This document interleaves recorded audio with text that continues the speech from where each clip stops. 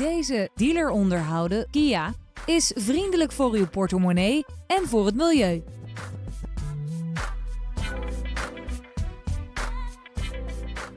Het is een compleet uitgevoerde auto met onder meer elektrisch bediende ramen voor en achter, elektrisch verstelde en verwarmde buitenspiegels en hoofdsteunen achter.